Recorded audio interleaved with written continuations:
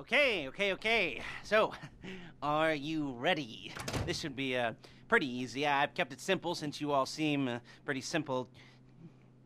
In a good way. In a in a good way. In a good, uh, straight ahead, uh, low IQ kind of.